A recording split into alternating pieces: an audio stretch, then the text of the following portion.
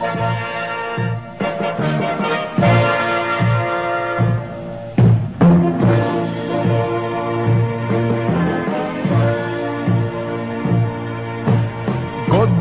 su prošle pune muka.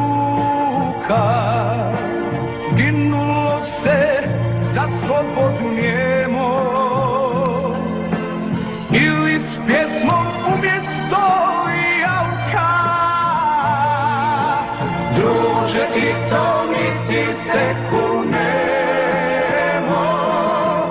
Druže i to niti se kunemo Da nije bilo bolje, recite. Jesmo se mučili ko sad, nismo. Smijeli da spavamo i na putu i, i, i utrnju, sad ne smijemo ni u kući. Je li tako ili nije? Molim lepo. U svakom slučaju da je bilo bolje, normalno. Mi sledimo i sad nastojimo da bude bolje, ali meni se čini da nije baš tako. Nije, nije tako. Šta ja znam, ja nisam mnogo ni zapamtila tog Titovog doba, ali ono što je bilo, bilo je čini mi se mnogo, mnogo bolje. Ili je kriza u svetu samome ili, ili se to kod nas dešava, ali ja smatram da bi valjale promjene. To je neuporedivo. Znači, vreme ovaj, kada smo imali državu, kada je, kada je sve funkcionisalo, kada si bio siguran na svakom mjestu i tako, a ovo danas ja nemam reći. Nemam reći, stvarno ne bi dalje da komentarišem. Za vreme Tita je bilo ekstra.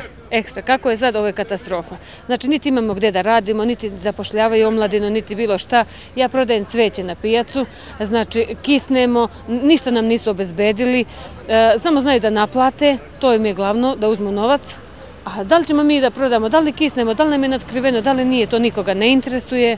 A za vreme tjeta iskreno da vam kažem, smela sam i noć da idem sama i svi su bili ljudi, su bili drugačiji. Znači, i da te zaštite i sve, a sad, sad možda nekada te ubije na ulici, svi su okrenu glavu i prođu. Može mi se,